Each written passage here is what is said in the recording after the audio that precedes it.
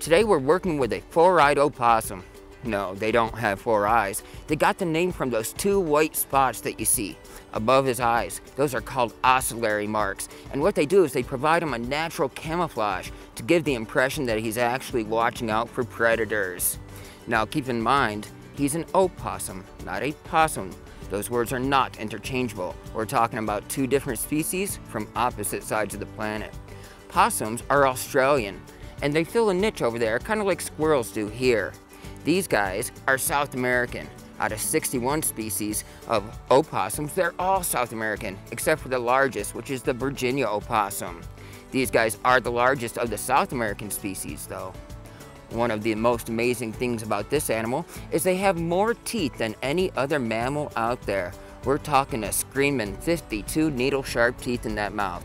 And they use it as a great defense. Their primary defense is called gaping, and it's exactly what it sounds like. They'll just open their mouth and display those rows of teeth while hissing and spitting. It can be a very intimidating behavior. Also, we've all heard the phrase playing possum. Well, playing opossum would be more accurate because it's an opossum behavior.